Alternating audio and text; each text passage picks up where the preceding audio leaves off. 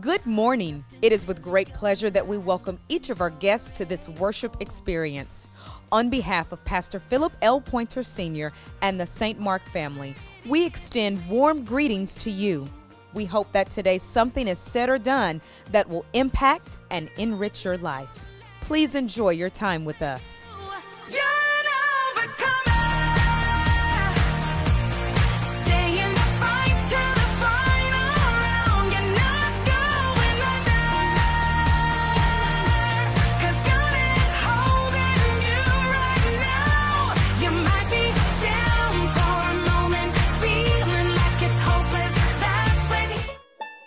Our free job readiness class is back October 18th at 5:30 p.m. in room 210 of the Family Life Center. Let us help you with face-to-face interviewing tips. There are many jobs available in our area and we've already seen success helping people get jobs. We'll see you next week.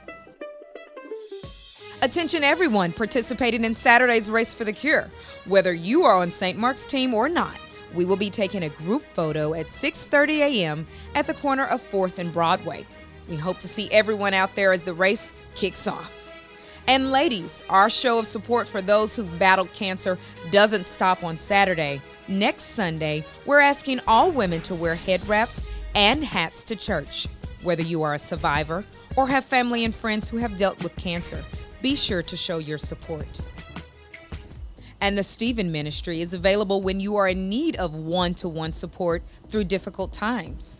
Stephen Ministers will walk with you through your situation as a listening ear and godly support. Contact Pastor Herbert Shirley for more information on how to receive care. Pastor Pointer continues the series Shepherd Stories. As we walk through the 23rd Psalm, let's focus on increasing our trust in God, intensifying our gratitude toward God improving our humility to God, and inflaming our worship of God. Don't forget to recite the psalm and write down your own shepherd stories every day. St. Mark family and friends, we always want to stay connected with you, and there are several ways you can help. If you would like to know more about being a part of the St. Mark family, join the Steps to Growth class. It's a great way for new members, prospective members, and even longtime members to get to know what St. Mark is all about.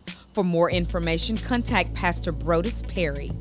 We also want you to connect with Pastor Herbert Shirley if you are hospitalized or lose a loved one. We want to be there to support you when you are going through difficult times. Be sure to use My St. Mark to keep your contact information up to date and make contributions. Connect with us on Facebook, Twitter, and Instagram at St. Mark LR. You can also download the St. Mark LR app on your smart device. For more information about St. Mark, visit our website, smark.org. St. Mark Baptist Church. You grow here.